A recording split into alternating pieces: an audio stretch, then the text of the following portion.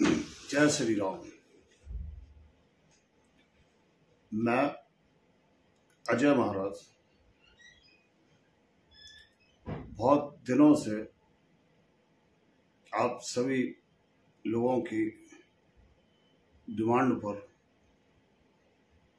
और बहुत विशेष लोगों के आग्रह पर एक यूट्यूब चैनल बनाने जा रहा हूँ काफ़ी वर्षों से, काफ़ी दिनों से मेरे कई भक्तों का ये मुझसे विशेष अनुरोध था कि गुरुजी, आप अपना एक चैनल बनाए आध्यात्मिक। मैं, मन में भी आया, पर कुछ कारणोंवश लोगों के इस आग्रह को टालता रहा।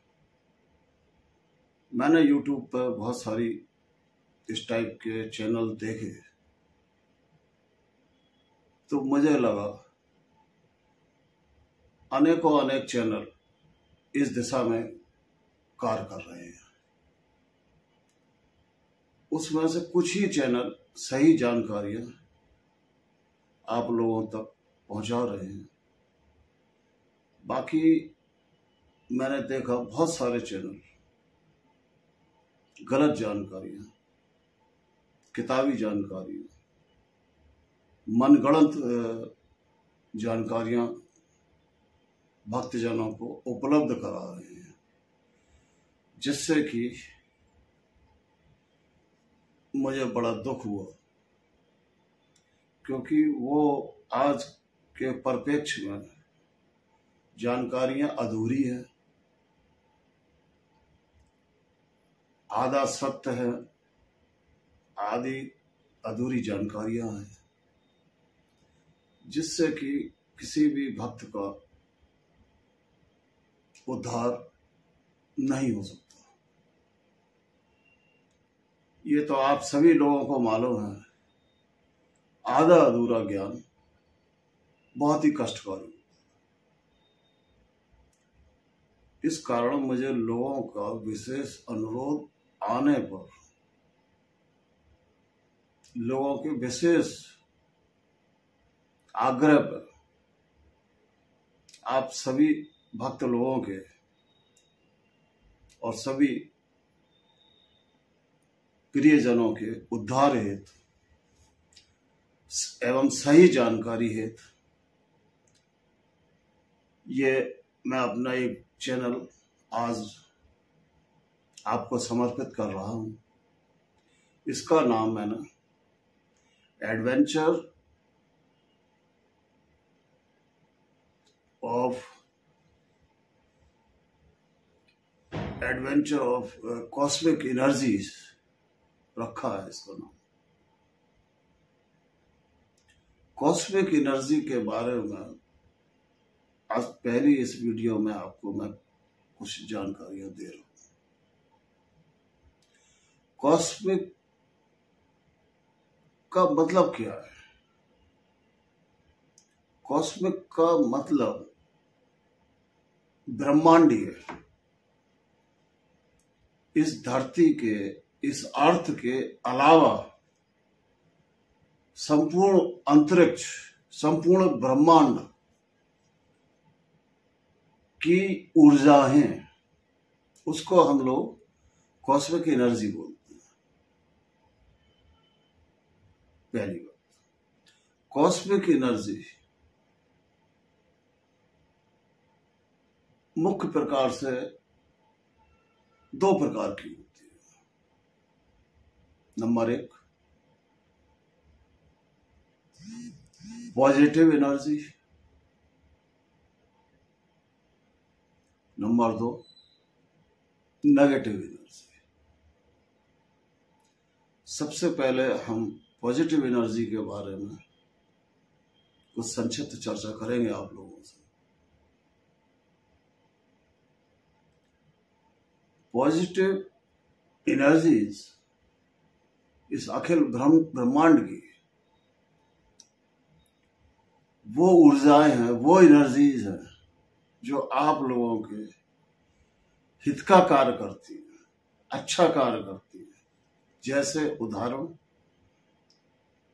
आपकी अच्छी सेहत का होना, आपकी अच्छी बुद्धि का होना, आपके अच्छे व्यापार का होना, आपके अच्छे स्वास्थ्य का होना, आपके अच्छे तरक्की का होना आपके अच्छे व्यापार का होना।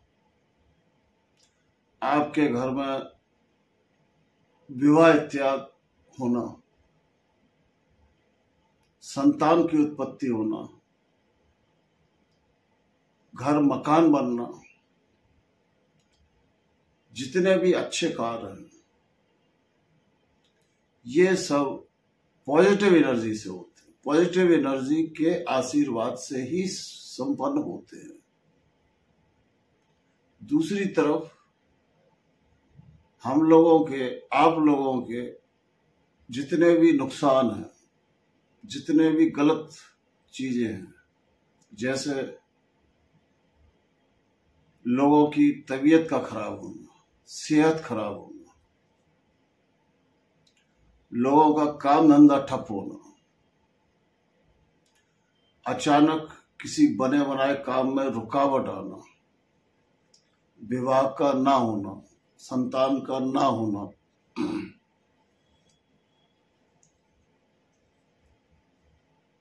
एक्सीडेंट होना। किसी के घर में अकाल मौत होना। व्यापार का अचानक ठप हो जाना। अचानक किसी की बुद्धि का खराब हो जाना। अनेकों अनेक इस प्रकार के कार्य हैं, जिससे कि बहुत भारी क्षति होती है, नुकसान होता है। ये सब नेगेटिव ऊर्जाओं नेगेटिव एनर्जीज के द्वारा ये कार्य होते हैं।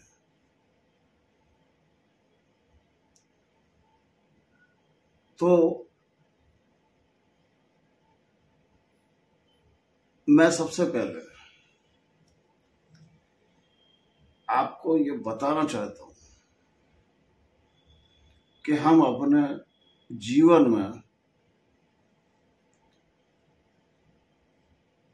पॉजिटिव एनर्जी को कैसे बढ़ाएँ और अपने घर में, अपने शरीर में पॉजिटिव एनर्जी बढ़ाते हुए जो नेगेटिव एनर्जीज उनका समाधान कैसे करें? उन नेगेटिव एनर्जियों को कैसे दूर करें? जब तक हमारे शरीर से, हमारे घर परिवार से और हमारे जीवन से, हमारे घर से ऑफ़िस से नेगेटिव एनर्जी दूर नहीं होगी। जब तक तरक्की और अच्छे कार का होना बहुत ही मुश्किल है। अगर होंगे भी तो बहुत ही कम मात्रा में, अपेक्षित मात्रा में सफलता नहीं मिल सकती है। ना सेहत ठीक हो सकती है। अनेकों अनेक प्रकार की बीमारियाँ अनेकों अनेक प्रकार के कष्ट जो नेगेटिव एनर्जी के द्वारा होते हैं उनसे बचने के लिए या उनको ठीक करने के लिए। हमें सबसे पहले नेगेटिव एनर्जीज को अपने जीवन से, अपने स्वास्थ्य से, अपने शरीर से, अपने घर से, अपने घर परिवार से दूर करना ही होगा। जब तक ये दूर नहीं होंगे, जब तक आपको पॉजिटिव एनर्जी भी प्राप्त नहीं होगी। ये बात आप अच्छे से समझ। आपने अनेकों लोगों से सुना हो अनेकों जगह पढ़ा होगा, देखा होगा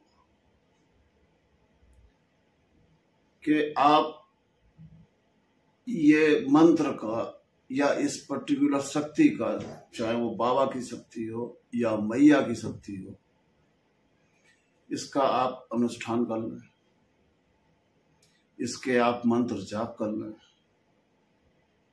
आप फलाना पूजा पाठ करा लो या स्वयं कर लो, जिससे कि आपका ये सब निवाकरण हो जाए। परंतु ऐसा नहीं है। उसका आप एक छोटा सा उदाहरण समझो। अगर एक गिलास है और उसमें विष भरा हुआ है या मदरा भरी हुई है, आधे गिलास में या आधे से अधिक गिलास में, अब आप चाहें कि वो गिलास अमृत से, दूध से या किसी अच्छी चीज़ से भर जाए या उसमें बदल जाए क्या यह संभव है? नहीं।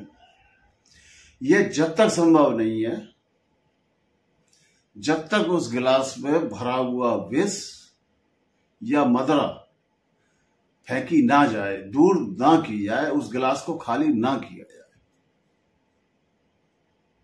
उसके बाद उसमें दूध या अमृत या कोई अच्छी चीज़ या गंगा जल भरा जा सकता इसी प्रकार अपने जीवन में, अपने शरीर में, अपने घर में, अपने घर परिवार में। Positive energy positive cosmic energy या पॉजिटिव एनर्जी भरने के लिए, पाने के लिए सर्वप्रथम आपको अपने शरीर से, अपने घर से अपने घर परिवार से। उस नेगेटिव एनर्जी को दूर करना ही होगा, या करवाना ही होगा। जब तक वो नेगेटिव एनर्जी दूर नहीं होगी, आपका घर, आपका शरीर, आपका परिवार पॉजिटिव एनर्जी को प्राप्त नहीं कर सकता। ये बात आप अच्छे से समझ इसका मैंने एक छोटा सा आपको उदाहरण भी समझाया। ठीक? इसके मैं कुछ और उदाहरण भी आपको देता हूँ। आपने देखा होगा, सुना होगा, बहुत लोगों से, बहुत लोगों ने कहा है और किया है और अपने अनुभव बताए हैं लोगों को कि हमने फलाने गुरु जी के कहने से, या फलाने पंडित जी के कहने से, हमने अपने घर में मैया का, माता का विशाल जागरण कराया। या बाबा का जागरण कराया। या भगवान सत्यनारायण की कथा कराई। या हमने ग्रह शांति की पूजा कराई। या हमने कोई विशेष आयोजन करवाया। या हमने सात दिन की जो भागवत होती है, हमने वो भी कराई। और हमारे उसमें लाखों रुपए खर्च हुए। परंतु हमारे जीवन से कष्ट नहीं गया ना हमको उसका अपेक्षित लाभ प्राप्त हुआ। नंबर एक, ऐसा आपने बहुत सुना होगा, बहुत देखा होगा। दूसरा, आपने ये भी सुना होगा, ये भी देखा होगा कि कितने सारे लोग ऐसे हैं जो कहते हैं कि साहब, हम तो बहुत पूजा पूजा पाठ करते ही नहीं थे, उसके बाद हमने शुरू की, हमने बहुत पूजा पाठ की, सालों की, बहुत जाप किए, बहुत अनुष्ठान किए। लेकिन हमको तो कोई फ़ायदा मिल नहीं रहा। लगता है कि पूजा पाठ करने वालों को और ज़्यादा कष्ट होता है। यह आपने सुना हो और यह सत्य भी है। ये सत्य क्यों है? बस बात वही है गिलास वाली आप लोगों ने इतने बड़े बड़े पूजा आयोजन, इतने इतने बड़े अनुष्ठान, भागवत, गीता, सुंदरकांड, रामायण पाठ, अखंड रामायण पाठ, हवन इत्यादि। यह बहुत सारी विशेष पूजाएँ करवाई, भागवत कराई, माता का जागरण कराया, करवाई और उसमें स्वयं भी शामिल हुए और विशेष खर्चा भी हुआ। परंतु उसका लाभ आपको नहीं मिला। क्यों नहीं मिला? क्योंकि ये सब जो पूजाएँ थी, ये पॉजिटिव एनर्जी को प्राप्त करने हेतु थी। बस बात वही है कि पॉजिटिव एनर्जी आपको मिल नहीं पाई। क्यों नहीं मिल पाई? क्योंकि आपके शरीर में, आपके घर में, आपके घर परिवार में नेगेटिव एनर्जी भरी पड़ी उसका निवारण न पंडित जी ने किया, न गुरु जी ने किया, न किसी ने बताया। और उस नेगेटिव एनर्जी को दूर किए बिना आपने सीधे सीधे पॉजिटिव एनर्जी को प्राप्त करने हेतु इतने भारी भारी इतने बड़े बड़े आयोजन और अनुष्ठान किए और करवाए, जिसमें काफ़ी अब काफ़ी सारा खर्चा भी हुआ। देखिए, जब तक आपके शरीर से, आपके घर से, आपके परिवार से नेगेटिव एनर्जी दूर नहीं होगी पॉजिटिव एनर्जी प्राप्त हो ही नहीं सकती। आप कितने भी आयोजन करा लें, कितने भी व्रत रख लें, कितने भी जाप कर लें, कितने भी अनुष्ठान कर ले, करवा लें, उसका फल आपको प्राप्त नहीं हो सकता जब तक कि घर की, शरीर की, घर परिवार की नेगेटिव एनर्जी दूर ना हो। ये पहला नियम है, मैंने आपको बता दिया। जब तक आपका शरीर, आपका पात्र, ग्लास रूपी शरीर, जब तक खाली नहीं होगा, जब तक स्वच्छ नहीं होगा, जब तक उसमें से नेगेटिव एनर्जी दूर नहीं होगी, आपको पॉजिटिव एनर्जी मिल ही नहीं सकती। आप कितने भी जतन कर। और यही एक सबसे बड़ा कारण है कि इतनी पूजा पाठ करने से, करवाने से आप लोगों को कोई लाभ नहीं होता है। ठीक? इसके लिए आपको कोई भी पूजा पाठ का लाभ पाने के लिए पहली शर्त है कि आपको अपने शरीर से, अपने घर परिवार से अपने ऑफ़िस जो नेगेटिविटी है, जो नेगेटिव एनर्जी है, उसको दूर करवाना ही पड़ेगा, करना ही पड़ेगा। देखिए, स्वयं करना बहुत कठिन कार्य किसी योग्य व्यक्ति से, किसी योग्य गुरु से, उसको कुछ विशेष अनुष्ठान, विशेष पूजाएँ होती हैं बड़ा तकनीकी पूजाएँ हैं वो, तकनीकी विधियाँ हैं। उनसे आपको सबसे पहले नेगेटिव एनर्जी को दूर कराना पड़ेगा। जब आपके शरीर से, घर से, घर परिवार से नेगेटिव एनर्जी दूर हो जाएगी, आपके नुकसान स्वतः बंद हो जाएँगे। शरीर स्वयं सही होने लगेगा। बीमारियाँ स्वतः दूर हो जाएँगी, शरीर स्वस्थ होने लगेगा। काम जो अटक रहे हैं, बिगड़ रहे हैं, वो बनने शुरू हो जाएँगे।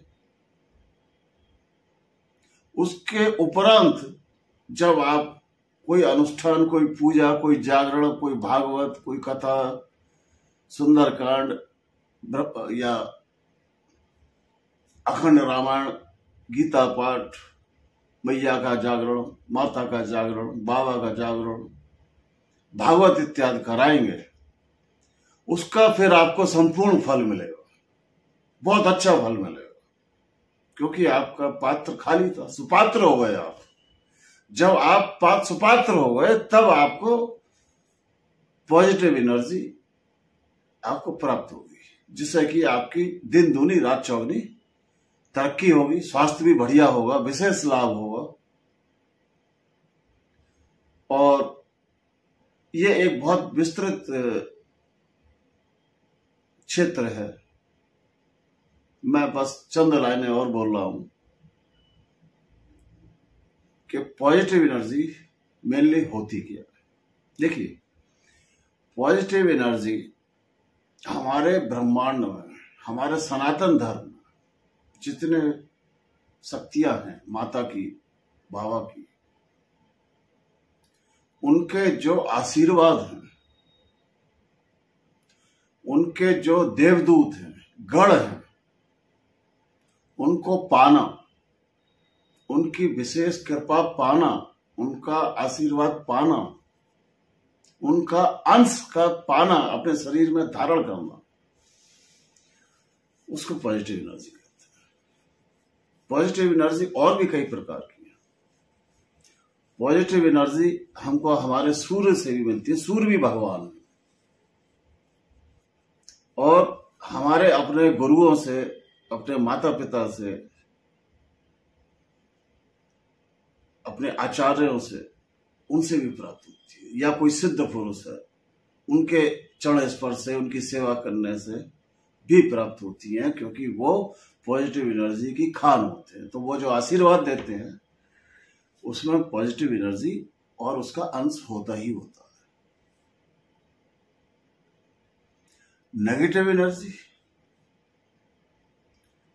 नेगेटिव एनर्जी देखिए, वो नकारात्मक ऊर्जा है,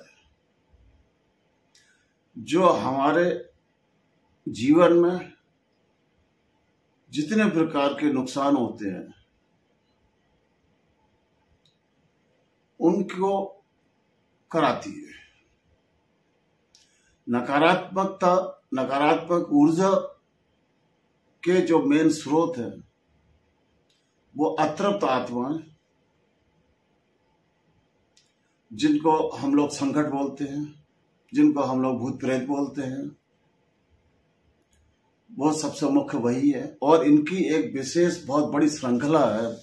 इसमें बहुत सारे वैरायटियाँ हैं। और ये सब चौरासी लाख योनियों में हैं और भगवान द्वारा निर्मित हैं। ठीक?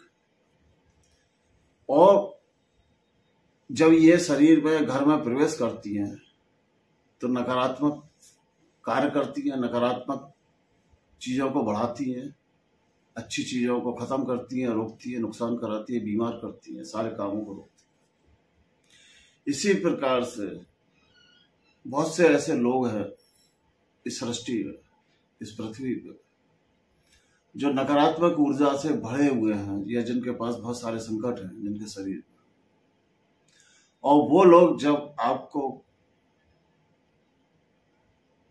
बदवा देते हैं या बुरी नज़र से देखते हैं या ईर्षा करते तो उसके माध्यम से वो आप तक न, उनकी उनकी नकारात्मक ऊर्जा है आपके शरीर में प्रवेश करती जितने अभक्ष भोजन है उसमें भी नकारात्मक ऊर्जाएँ होती हैं। जो व्यक्ति नकारात्मक ऊर्जा या बहुत सी ऐसी वस्तु है जो नहीं खानी चाहिए अभक्ष चीज़ें हैं जैसे अंडा मीट शराब इत्यादि। इनका सेवन करते हैं। तो उनको नकारात्मकता या नकारात्मक ऊर्जा बहुत जल्दी पकड़ लेती है। जैसे हम लोग अपने घर को, अपने वाहन को, अपनी वस्तुओं को शुद्ध और पवित्र रखते हैं अच्छा रखते हैं, उसी प्रकार से हमको इस शरीर को, अपने घर को भी शुद्ध रखना। और उसके लिए सबसे पहला नियम यही है, जैसे कि समय से पहला शौच इत्यादि से निर्वत होकर स्नान करना। उसके उपरांत हमको जहाँ तक संभव शाकाहारी भोजन ही करना चाहिए। वो सबसे उत्तम और बढ़िया।